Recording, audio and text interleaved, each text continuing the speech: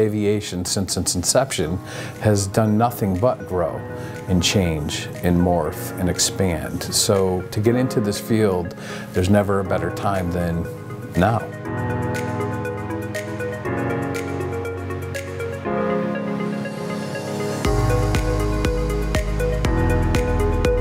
Aviation Maintenance Program is a two-year-long program. There are two locations, one in Hartford, Connecticut and one in Stratford, Connecticut. It is an adult education program, so you have to have a GED or a high school diploma. And it's a great fit for anybody just starting out or doing a midlife change in careers or even as retirement. The program is broken down into three major blocks. The first block of instruction is called General, the very basics of physics, mathematics, electricity. And block two is airframe block. Everything on the airframe besides the engine. And the last block is power plant. You are reciprocating engines and turbine engines. At the end of the program, they're able and prepared by the instructors to take the FAA certification exams. Then they become certified aviation maintenance technicians. We start out the day in the classroom. We roughly do two hours a day of theory, and the rest of the day is spent working on aircraft in the hangar. You get to work on live aircraft, aircraft that's functioning, different parts of it. And the, the students actually work on customer aircraft. Customers are allowed to bring their planes here for their annuals. There's so many things I really enjoy about this program. First of all, the people and the instructors are awesome. Everyone's very collaborative. Everybody is respectful and at the same time comfortable enough to uh, talk to each other, not just as uh, professional student teacher, but kind of like a family. It's a great atmosphere.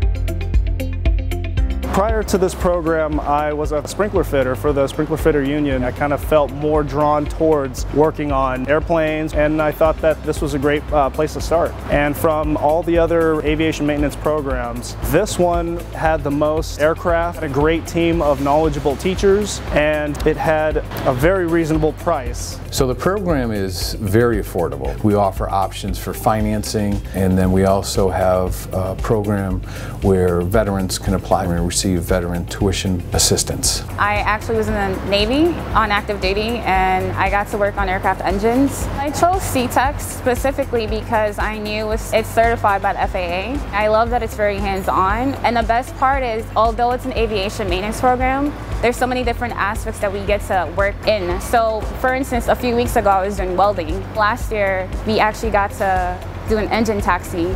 So we were in the airplane on a live runway taxing the plane. So I just love that it's very hands-on. So geographically, we're one of the hubs for aviation. We have some of the largest and global companies, and they visit some of the locations, and some of the companies also visit our aviation maintenance technician programs to speak to the students to talk about different opportunities that they have. Being an aviation uh, maintenance tech, you're pretty much uh, guaranteed to land a job. It's not only working on airplanes or helicopters, but you can also get into the uh, power turbines, wind energy, submarines, basic industrial maintenance. You could be a director of maintenance for a facility, you could work in defense contracting, you could be an instructor. The travel benefits are phenomenal. You could work for an airline, work for an operator. You make a really good living for what you do here. Companies are actually coming to the school and asking our instructors, you know, like, do you have any students available for this internship, for this job? It's like a small world in the aviation maintenance world, so they know people and so they're able to refer us to them. They're able to tell us what's out there.